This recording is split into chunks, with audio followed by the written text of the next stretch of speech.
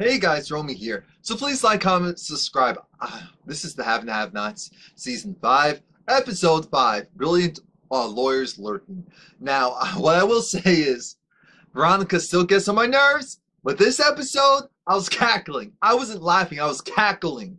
So I have to give it up to her. The episode starts off with Justin looking at Quincy's body. Well, he's in a body bag, but Quincy's body has been exposed. It's been discovered and he's gonna go and contact Jeffrey, but Jeffrey is waiting with Candace at the hotel. It's probably the Sarandon Hotel. Um, and so, you know, Candace is looking, wondering, so when is your mother gonna show up? When is she gonna show up? Because we can't do this. I'm not gonna sit here and wait for a woman who doesn't like me, who barely tolerates the fact that I'm alive, just you know, so that she can go and jerk me around.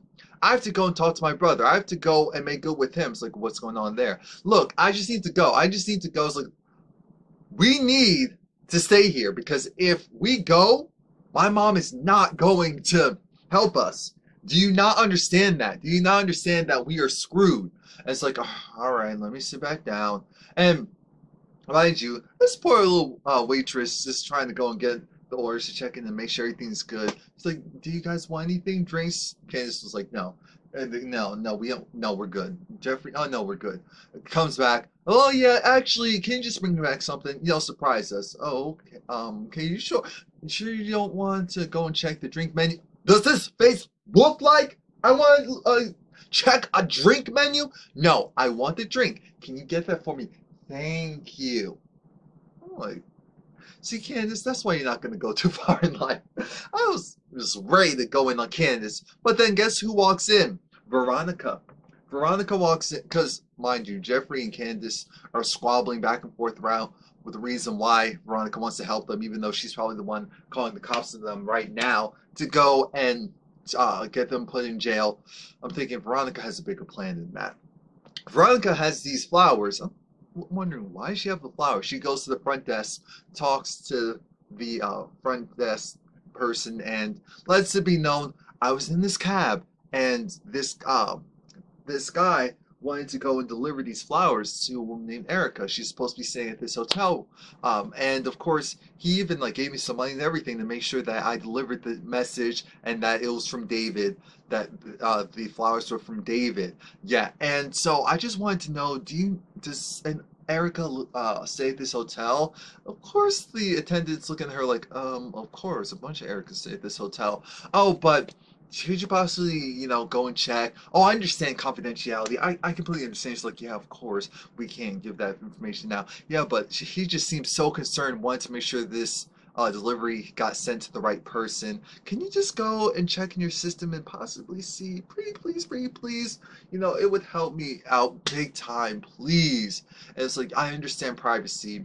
I'm not trying to go um, meet the woman. I don't need to know the woman's name. I just want to make sure it gets to her.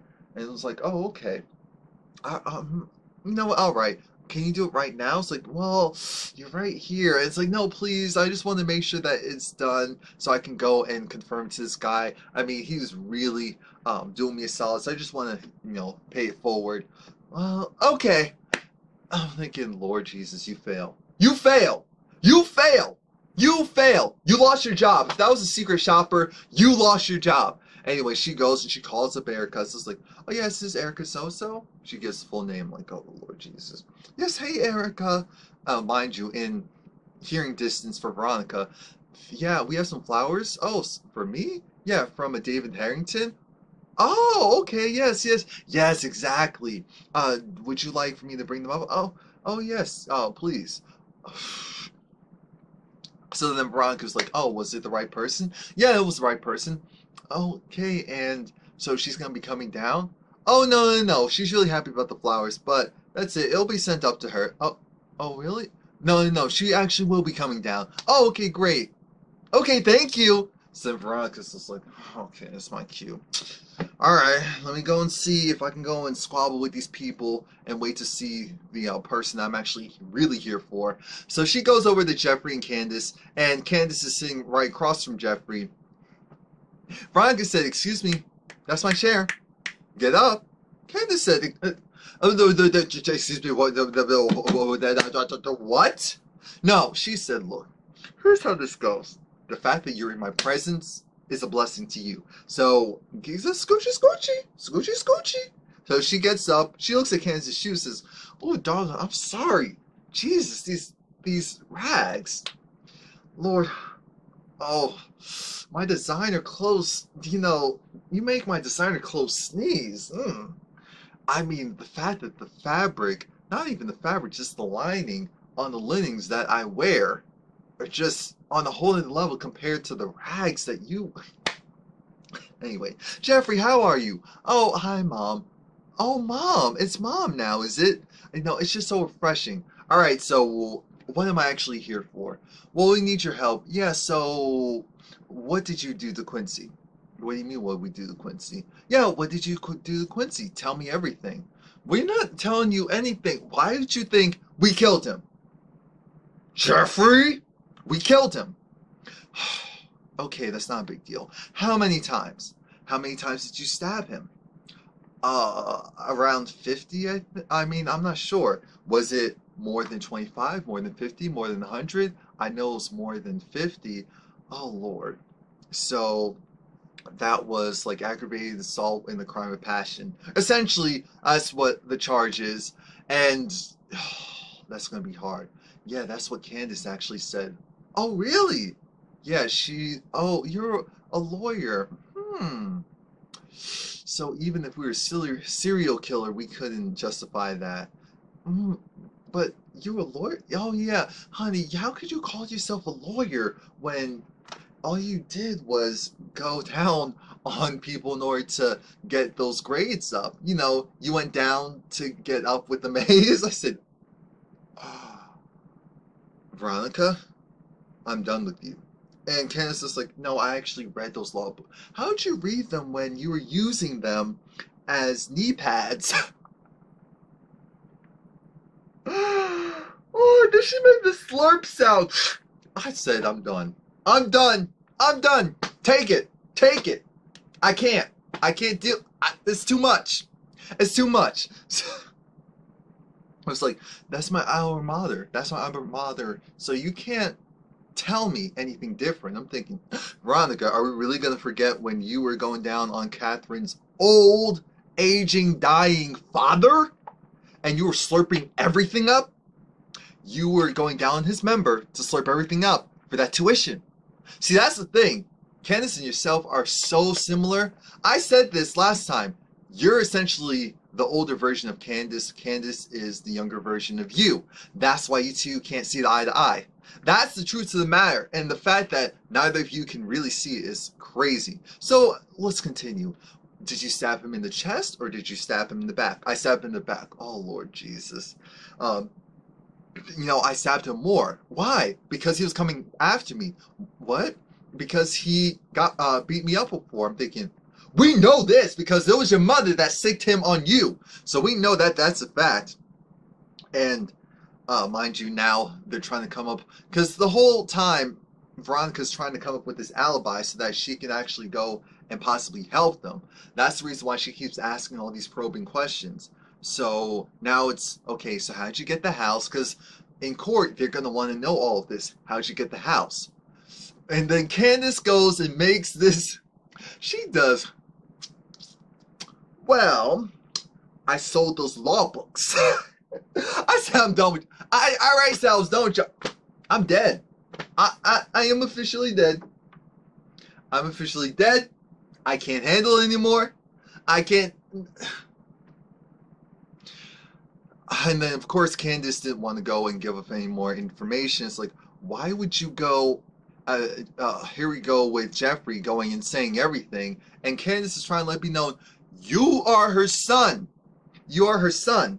Why would I tell you all everything that you possibly want to know? So about the house, how did you get the house? I bought it with cash. Stupid girl. Stupid girl. Why would you buy the house in cash when you didn't have an income to supplement it? They're gonna want to and um go and figure out where did you get the cash. I'm thinking, duh, that seemed obvious. So where did you get the cash to buy this house to eventually kill your ex in? Really?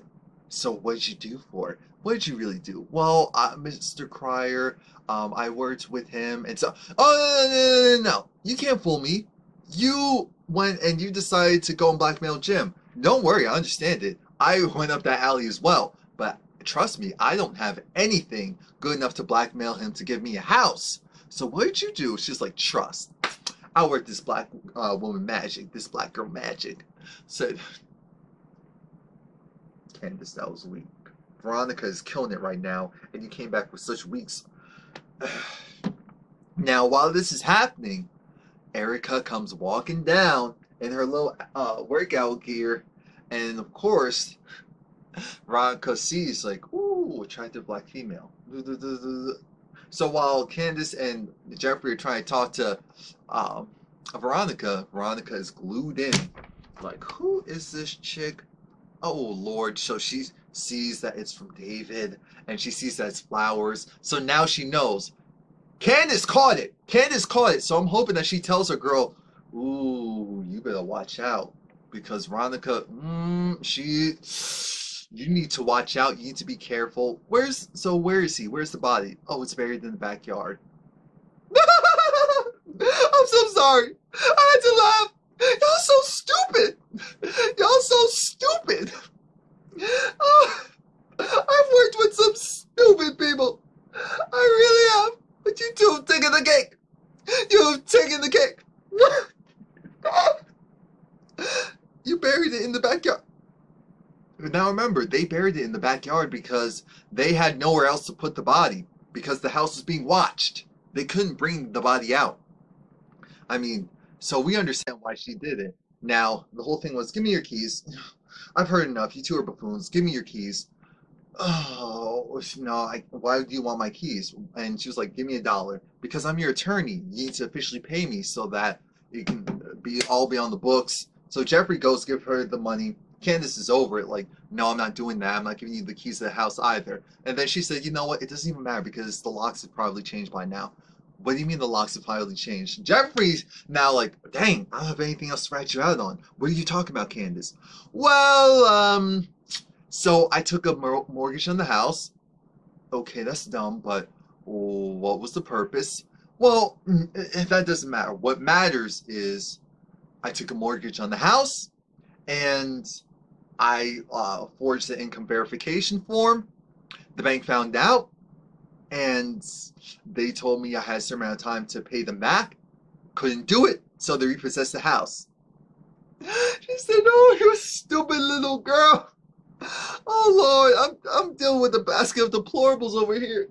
You took a mortgage on the house that you paid in cash for, and then you forged the. Are you sure you're a lo- Are you sure? So yeah, they. Anyway, so they took uh, the house is officially foreclosed on. They own it, and I'm thinking, wait a minute, when when did they do that? I, I thought the as soon as she said it, I thought to myself, now wait a minute, now this could actually work. Veronica said, you know what? I'm laughing, but that might have been the smartest thing you did. Now follow me, because you said you had some uh, law school. Follow me. When did that happen? Oh well, it happened. Was it before or after your house got foreclosed on that they found the body. Oh, yes. Oh, so see, you're not as dumb as I thought you were. All right, fill my dumb uh, child in. And it's like, all right, see, the thing is, I like you. You're stupid and you're annoying, but I like you. I, I do. I see something in you. I see a little bit of, I mean, I see something in you. So I'm going to help you out. I'm going to do you a solid. Don't worry about it. I got you covered. Thinking, Lord, you don't want that type of help. With her helping you with really no money, what does she want in return? Aside from, of course, she wants Jeffrey to go and marry uh, Melissa and uh, be a father to the baby. Like, Lord, I don't even believe this woman's still pregnant. But okay, if you say so. Uh, she finally goes and leaves. I'm thinking, Lord, the plotting, the plotting. Before she leaves, though, she she touches Candace's back you know, and it's just like, you know, I got your back, girl. I'm like, what is going on here? What is going on here? And she's like, oh, oh gosh, oh my nails. right, go, just go. Anyway, Candace said, You know what? Your mother is an evil genius. She is brilliant. Yeah, what are you talking? Look, the house got foreclosed on. Oh, before they found the body, which means that I didn't own the house. I did not own the property when they found the body, which means even if they trace the body, well, obviously trace the body back to us, that whole thing can be thrown out in court. Your mother is an evil genius. I don't know how I didn't see it myself. I'm thinking because you were so distracted and all this other stuff going on, but that's Veronica. If she's nothing um, but conniving, always has a plan, and we will move on. Because I I went through that slowly because I wanted to make sure I covered every single part. So now we're gonna speed it up. Catherine talks to talks to Jim, and Jim is trying to you know do the same thing, question and probe her regarding, uh, what do you call it? Regarding the fact that, oh, so it's Veronica who did. It. Yes, it's Veronica. Why did she do it? She did because she did. What? Okay, where is she standing? Where are you standing? I was sitting on the couch. Where are you sitting on the couch? Oh, was Veronica to the left or right of you? Was Jennifer to the right or left of you? It's like, uh, uh, she was to the. Uh, I'm not sure. Wrong, wrong. If you're going against Veronica on the stand, she's going to bury you. So let's try this again. Were you on? You're on the couch, right? Was she? Let's just say to your left. She was to your left. Okay, so then I was to the right. Oh, okay, good. Remember that. Wrong, wrong. Why? Because I just coasted an answer out of you. So, why did Jennifer get shot with a, you know, point blank uh, stance? At a point blank stance. Oh, how'd you know? Wrong, wrong. I did it. You just told me. See, this is the thing. I know that you did it. I know that you did it. So why don't we try this one more time? Who killed Jennifer? I did. I killed her. I happily did it. Absolutely. She came in between my son. She came in between the only living child I had. And trust me, I would do it again. Not only would I do it again, I would include you. I mean, blink and watch. That gun that you just told me that, oh, it's in our safe, and how Veronica apparently she has multiple guns, and I didn't know uh, that even though we've been friends for years. Um, and yet this whole time you want me to believe that I can go and kill you. I know that you did something with her. I can call it a crime of passion. And then you killed yourself because you just couldn't handle it. I mean, maybe I should go with that. So, so how about this, Jim? You go, you clean it up, you fix it, and then you get out of my house. Get out. Get out. And I'm telling you, you worrying about all these little harlots you have going on here. You know, the whore number nine. And, and Selena. What was it? Was it Selena? You know what I'm talking about. I'm thinking, wait a minute. We haven't heard that name in a long time. We haven't heard that name in a long time. Is she is she just gone from the show? Or are we just gonna say her name when it's convenient every once in a while? Like, what happened to her? What happened to his other child? anyway, Wyatt is uh, he invited Pete, which, as we know, Pete is his drug dealer friend that left him. Well, Wyatt doesn't remember this, but left him when he overdosed. It's like, ooh, dang, I think he might be gone. Let's go clean up and get out of here. Yeah, I remember that, Pete. Well, even though Wyatt doesn't. And Wyatt was trying to score. It's like, do you have some blow? And Pete gained a conscience. He said, I can't give you any drugs. What's wrong with you? Why would you? You overdosed. You overdosed. It was scary. We almost lost you. Why would you do it again? He said, I'm not selling you any drugs. Like, you, how can you possibly have a conscience? I can just go and ask other people. There's other people who sell drugs in this town. Yeah, but you don't know them. You don't know them, so you won't be able to get anything. And in the state that you're in, well, you know what? You can leave. Get out of here. What's wrong? I don't need you. I don't need you. I'm thinking, Wyatt, your drug dealer friend just told you that you have a problem, and yet you decide for yourself, oh, oh, he's the one. He's the one. He's the drug dealer. He's supposed to give me the drugs. He saw you overdose, and even though he left you, the fact that you're still alive, it was even a reality check for him. Like, yo, I gotta chill on this one. I have to chill on this one. I have to let this one go. All money isn't good money. You know it's bad when someone who does that it's like mm, all money is good money when you're paying him for his service. Dang. Wyatt is a true addict, and we knew it. But Benny is doing the whole. He's irritated and he's hurt that Candace hasn't um, reached out. He won't eat. I'm thinking, Benny, you, if anyone needs to eat, that's like saying I won't eat. Like, I already look like if I miss maybe three meals, I'm gonna fall apart. So you, who stays in the gym or stays working out, you miss like two meals and you're gonna shrivel up. So I know you must be eating something. Yeah, that rage from your sister and all that, it can't be fueling you. Hannah's saying, you know, I'll get a job. I'm thinking, what? Um, she's like, you need to go and get a job too. He is over it. He's trying to act like, no, I can't. She's like, you can start over. You're working towards a dream. I understand. You can do it the same way that you did the first time to get your trucks. Like, um, I want to start over. Benny, you're 20 something years old. If you think that you can't start over that at that age, then you've already defeated, then you are a loser. That is what's going through your mind right now. There's people who have to start over in their 60s, 70s. You need to get over yourself. You need to get over yourself. You need to understand, learn from your mistakes. Learn from your mistakes. Your mistake is you put too much of your business um, and intertwined it with your sister. You should have never done that. You should have been like, okay, but let me go and get this documentation right now. Oh, whatever you say. So this is partially your fault as well because being naive, being naive, that doesn't excuse for excuse you from all of this. Mitch goes and gives him a call, and Benny doesn't realize that it's Mitch yet because it's like he doesn't know the number. It's like, dang, and she didn't even call me, let me know course, they're speaking in code because Quincy Jr. is over there. Mitch lets it be known, you gotta get your sister, you gotta save your sister. Why do I have to do that? What are you talking about? He's out, he's he's out, he's coming after, he's coming after war. It's like, yeah, I'm down here. It's like, wait, so when are your people getting you out? I don't know, They speak to them right now. They're gonna get me out soon, but I, you need to go and get your sister right now because he's out. No, with what you did, he's gonna be in there for a while. No, he's already been out. And so Benny's like, oh, oh my gosh, Candace in danger. No, even though she has on my nerve that's my sister, it's go time again. okay, what happened? She's in trouble. War's out. War? Warlock?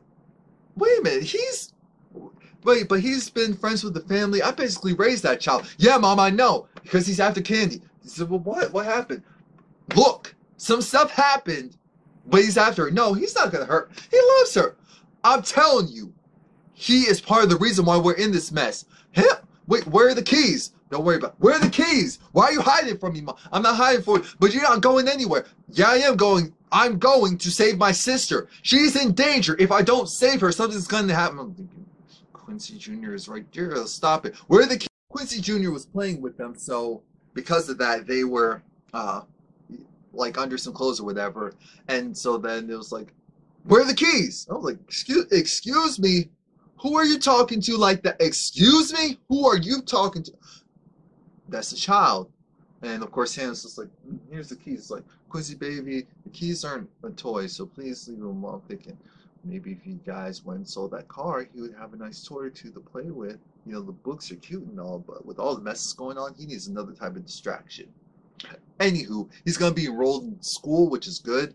Uh, I didn't know that you could be enrolled into school, but she doesn't have money to take care of his health care because you need to have all of that up to date before they go into. School.